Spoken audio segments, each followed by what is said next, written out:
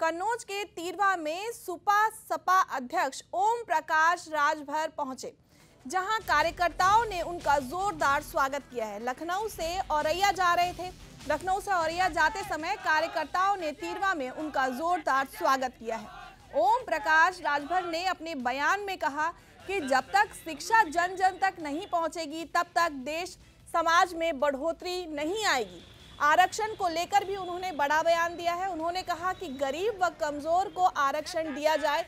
जैसे अन्य देशों में गरीबों का इलाज फ्री में होता है, वैसे ही देश में गरीबों का इलाज फ्री में होना चाहिए। लंबे समय के बाद भगवान श्री राम का मंदिर बनकर तैयार हो पाया है। जनता को रोटी, कपड़ा, मकान, शिक्षा बस यही चाहिए। अखिलेश यादव ने एम वाई फैक्टर के साथ धोखा किया। एम को नफरत दी जाती थी और वाई को अधिकार दिया जाता था। ओम प्रकाश राजभर ने इशारों इशारों में अखिलेश को कीचड़ कह डाला। अखिलेश के साथ जाने के सवाल पर वो बोले कि कीचड़ को साफ़ करना है तो कीचड़ में मिलना ही पड़ता है। जब तक शिक्षा जन जन तक नहीं पहुंचेगी, तब तक देश, समाज में बेहतरी नहीं आएगी। सोच नहीं पैदा हो जहाँ शिक्षा है, वहाँ सोच पैदा है। हम लोगों का मानना है कि इस देश में जो व्यवस्था शिक्षा की दो तरह है।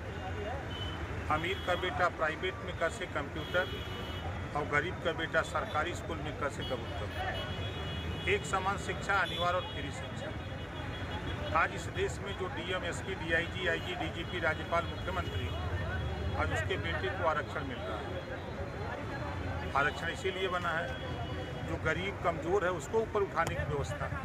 ऐसे लोगों को किनारे किया जाए, जो आरक्षण के दायरे में आ गए, उसका लाभ ले लिए, उनको बाहर निकाला जाए। ये हम लोगों की पार्टी का मानना है। आज जो गरीब, कमज़ोर दुनिया के तमाम देशों में गरीबों का इलाज फ्री तो देश में गरीबों का इलाज फ्री